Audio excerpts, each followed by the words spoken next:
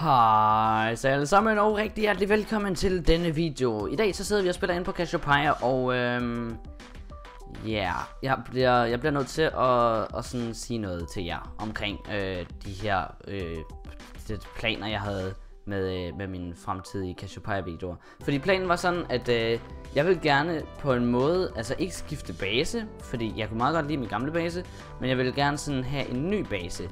Så øh, så ja, det jeg havde planlagt, det var, at, øh, at jeg ville tage herud på havet og starte forfra og lave lidt eventyragtigt, hvor, øh, hvor jeg lavede alt det her med grødhoved og, og alle mulige, øh, alle mulige ting. Jeg havde også planlagt, at jeg ville øh, lave sådan noget med, at jeg skulle under vandet og, og alt muligt, og nu kan jeg lige så godt sige det. Det skulle have været rigtig, rigtig meget skuespil over mine Cassiopeia videoer, og der skulle være præsenteret en masse sådan fiktive personer, som, som blandt andet den her grødhoved her. Øhm, det bliver dog ikke planen desværre. I hvert fald ikke, i hvert fald ikke endnu.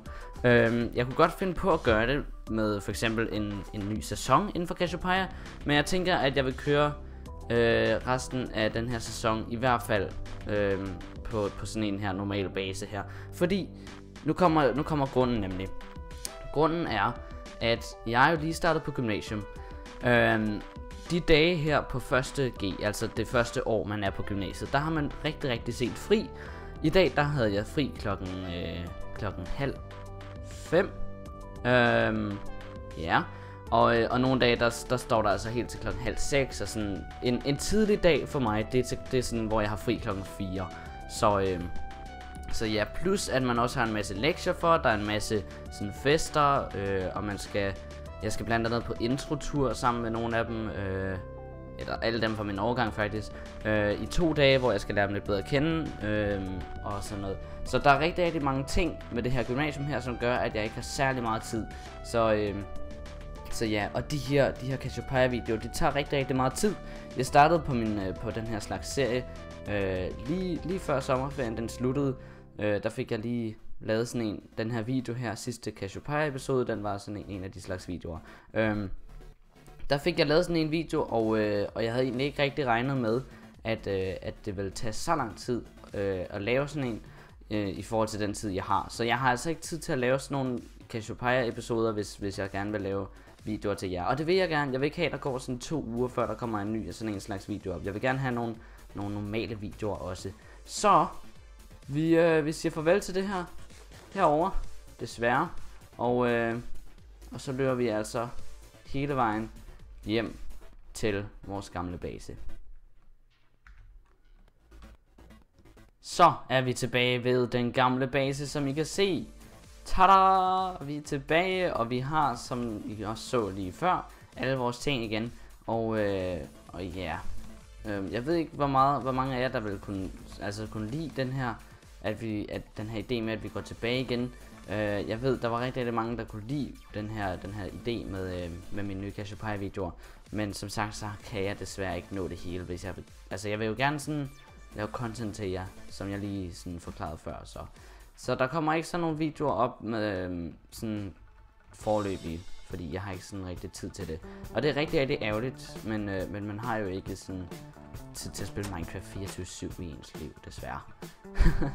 Sådan er det jo. Øhm, jeg ved ikke, hvorfor vi gik herind. Men i hvert fald, vi er tilbage i den gamle base. Det er, det er super fedt. Jeg har ikke været her længe. Øh, der er gået sådan en uge, to uger, vi ikke har været her. Så, øh, så ja, vi har egentlig bare løbet over der, ved, rundt, løbet rundt over ved vandet, øh, ude på havet. Øh, så, så ja. Øh, vi er i hvert fald tilbage, og jeg ved ikke om vi kommer til at lave et projekt i den her episode, eller om det bare kommer til at blive sådan en video, hvor jeg lige forklarer, at vi egentlig er tilbage. Men, øh, men jeg synes lige, at jeg, I skulle have en ordentlig forklaring på, hvorfor vi egentlig, øh, hvorfor vi ikke kommer til at lave de her videoer.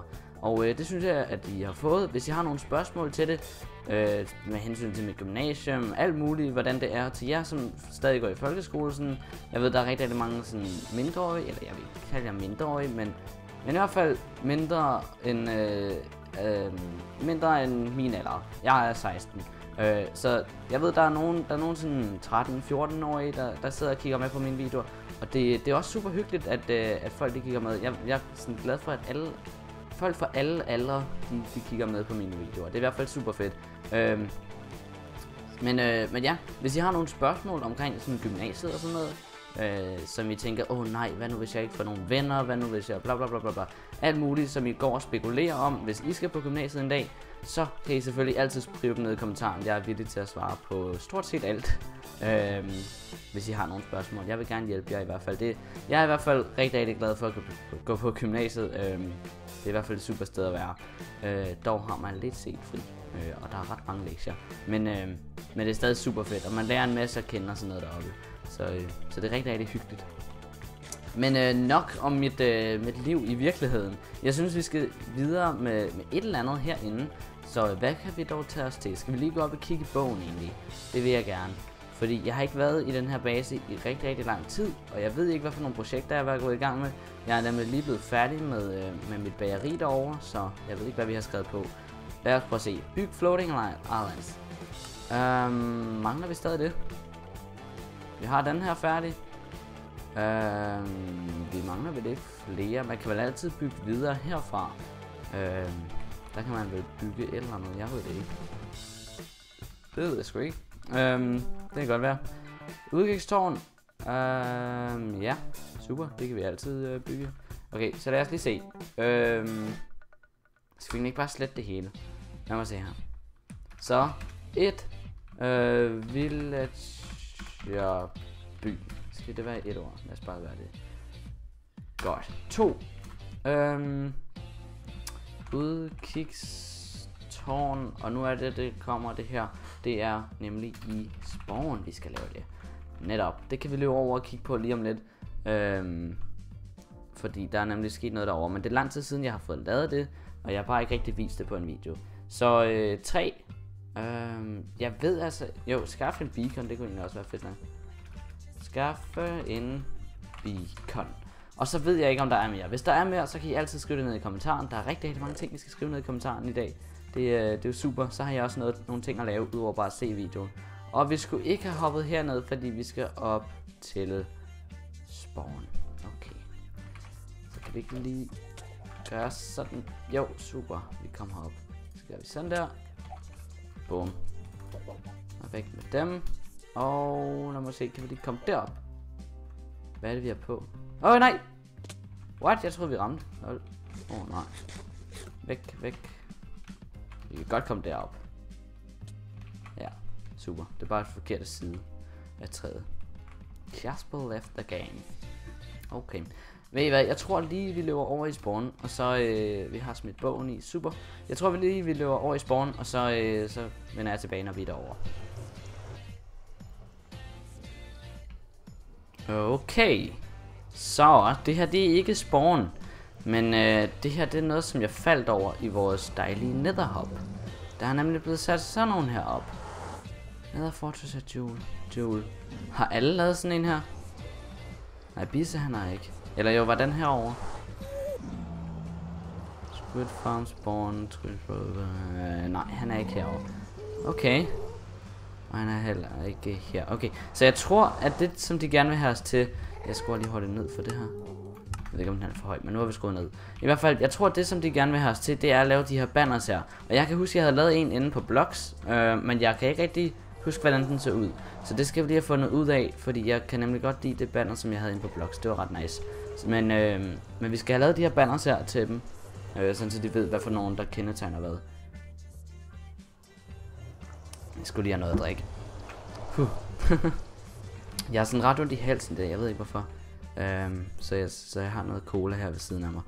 Øhm, okay. Så, er der sket noget i spawn egentlig? Jeg har ikke været herovre i rigtig, rigtig lang tid. Skal vi ikke lige tage vores render distance lidt op? Hov. Hvad er det nu? Jeg ved, at Cassiopeia, de har sådan en max limit af alt det, eller af det her render distance, som Jens har sat den til, for at den ikke kommer til at lagge. Så øh, jeg tror, det er 12, men jeg kan ikke huske, om det er 12 eller 16. Øh, skal vi prøve at gå herned og kigge? Jeg mindes, at alle vores villagers, de er døde, fordi der er kommet zombier herned. Så det er ikke så godt. Kan vi se nogen? Nej. Der er ikke en eneste. Jo, han står der ikke en derinde? Hør. Au. Lol, mistede vi ikke lige det der? Okay. Fair nok. Er de bare alle sammen døde? Jeg synes altså, jeg så en heroppe. Øj, der er tre. Nej. Nej, er der nogen heroppe? Det tror jeg ikke. Der er ret langt heroppe. Det ville være vildt mærkeligt, hvis de kunne kravle helt der. Nej, det kan de heller ikke. Super. Men øh, vi har tre villagers, og øh, jeg ved altså ikke om det her projekt, om vi skal lave mere ved det, fordi det er vel egentlig bare til pynt. Så, øh, så jeg ved ikke, om det er noget, som vi kommer til at lave mere ved. Men, øh, men hvis det er, at vi lige pludselig sådan tænker, at vi ikke har noget projekt, så kan vi vel godt lige fylde på med nogle villagers, og så rent faktisk lukke det til, så der ikke kommer zombier herned. Det kunne da være fedt. Men, øh, men det kan vi altså ikke helt nu. Men hvad står her? Lidt Bremens villagers. Åh, er der villagers her? Nej, der er villagers. Der er to mere. Super. Lebreums. Hop. Villagers. Hop. Sådan. Og så nogle fakler, sagde han. Eller ikke sagde han, men det stod der. Øh, hvad er der herinde? Det vil... Øj, der, der. Øj, der er en beacon. Og det var... Jeg kan ikke huske, hvem vi lånte den af. Jeg, jeg tror, det var Toppers, men jeg er ikke sikker. Øh, se, jeg har lavet det her dykkermaske noget til, øh, til, mit, til min idé. Tænkning. Øh, det er nemlig noget texturepack, som jeg selv havde designet. Så, øh, så ja. Den her hjelm her, den har jeg taget fra en anden texturepack. Men det her ikon her, eller det man holder på, det har jeg selv designet. Øh, men når man har den på, det er der en anden en, der har lavet. Så, øh, så ja, jeg havde faktisk lagt ret meget tid i det her øh, med mine nye Cassiopeia videoer, men, øh, men det blev desværre ikke til noget. Sådan er det. Og vi har faktisk Wither Skull, så er det nemmere at få en beacon. Vi mangler bare to af de her skulls her, så kan vi få en beacon mere. Så, øh, så vi er godt på vej. Men, øh, men det jeg vil vise jer egentlig over i spawn, nu kommer vi lidt på afvej her, men øh, jeg vil bare lige tjekke, fordi jeg har ikke været her i rigtig lang tid faktisk. Øh, den er jo helt hvid, den her. Er den død, eller hvad? Er den død? Hold. Jeg tror, det er fordi... Ja, jeg har det her clay her på. Det er sikkert derfor. Ja, ja, så, sådan hudfarvet. Okay, det var derfor. Så må vi bare lade være med at have det på, egentlig. Øh, men ja, her. Claim by Judix. Øh, det er øh, her, hvor jeg havde min, øh, min drugstore, som jeg lavede i episode 2. Og øh, jeg brugte den aldrig, så jeg tænkte, at vi skal udnytte pladsen til noget andet. Det, jeg tror ikke, det er noget, jeg kommer til at lave i den her video, fordi at det er et ret stort projekt, jeg har fået bygget. Øh, men i hvert fald, jeg har mine materialer her. Eller det er ikke dem, som jeg skal bruge til det her. Men der er i hvert fald nogle materialer. Jeg tror, det er mine. Jeg er ret sikker på, at det er mine materialer. Men i hvert fald, øh, jeg skal have bygget et udkigstårn her. Og det er det, som jeg skrev i den her bog her. Der skal være et udkigstårn her. Og oppe i toppen, der vil jeg gerne have sådan lidt ala... Jeg skal lige prøve at løbe herover. Det skal være sådan noget lidt ala de her huse, der er herover. Bare sådan som et udkigstårn. Fordi jeg, jeg vil gerne have sådan et starterhus. Øh, jeg ved godt, at det er meget, meget sent ind i sæsonen at lave sådan et. Men øh, det er egentlig bare fordi, at øh, når jeg for eksempel løber rundt her i Spawn, og, øh, og jeg lige hurtigt skal bruge nogle ressourcer eller noget, så kan det være meget rart lige at have nogen. jeg ved godt, at vi har det her fælles, øh, fælles noget herinde. Men jeg vil gerne have sådan nogle virkelig sådan diamond tools og sådan nogle ting. Øh, hvis jeg lige pludselig løber tør for noget. Øh, og så synes jeg også, det er meget hyggeligt rent faktisk at have noget i spawn. Fordi at lige nu så har jeg ingenting. Altså jeg har, jeg ejer ingenting her i spawn. Der er intet, jeg har været med til at bygge som sådan. Har, er der vel? Det tror jeg nemlig ikke, der er. Jeg har intet, nej. Så, så jeg vil gerne sådan have bygget noget i spawn for os, ligesom at at have noget. Øh, ligesom alle de andre. Så ja, det, øh, det, er, det er et projekt, som vi skal lave i en af de næste episoder. Og hvad er det her? Hvad er det her? Er det, er det bare sådan... Okay, der er ikke noget rundt om. Det er en firkantet boks. Og hvad er der herinde? Hvad er der herinde? Skal man åbne sådan her? Lol. Rip. Nej, real. Det skulle da en dum måde at åbne på. Så. Åh, oh, det er toiletter, er det ikke? Det tror jeg. Kan man åbne dem sådan egentlig? Kan man åbne ved at kigge ind der? Det ved jeg ikke helt. Jeg har ingen idé. Nå, det må vel være toilet det her. Eller sådan øh, badeværelse. Ikke badeværelse. Toiletrum. Ja, i hvert fald toilet. For der er toiletter. Der er flere af dem. Øhm. Grips borg er her stadig. Uh, vi har heller ikke været over i kirken lang tid. der er rigtig, rigtig mange ting, som jeg synes er interessante herovre, fordi vi har slet ikke været her i lang tid. Og jeg tror lige, den her den fløj ovenpå et eller andet. Det ved jeg ikke. Jeg vidste egentlig godt, der var glas her, men det lignede virkelig, at den fløj. øhm, der vil ikke sket så meget op i kirken, er der? Er der nogen, der er blevet gift? Og i den endte session, lol. Okay. Fuck, den ser mærkelig ud egentlig. Nå. Nå, nå. Men, øh, men ja.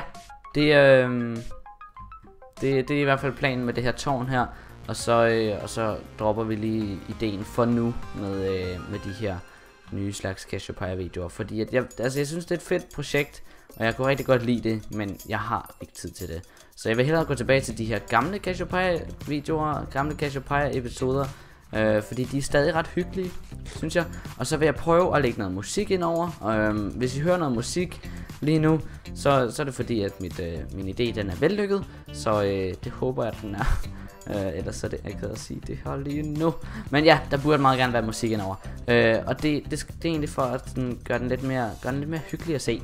Øh, fordi det kan jeg godt lide, selv på SMP-videoer, der kan jeg godt lide, der er lidt baggrundsmusik, lidt hygge, lidt stemningsmusik, hvis man kan kalde det det. Jeg gider ikke gå derinde nu. Øh, så ja, og så, øh, så med min nye computer, så lægger jeg jo ikke særlig meget i spawn mere. Før der kørte jeg sådan 20 fps eller sådan noget, det var helt sindssygt. Lige nu så har jeg 200 fps, mens jeg optager. Så det er super fedt. Øh, det, det er ikke noget, jeg er vant til. Er der stadig Unbreaking bøl? Åh, oh, der er mange ja. Åh, oh, er det lige før vi skulle købe nogle? Hvad koster de? Så er de dyre at lave.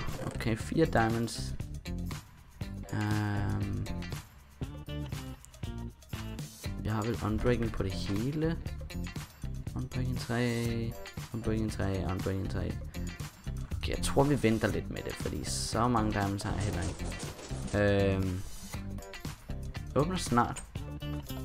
En kage, 3 redstone blocks.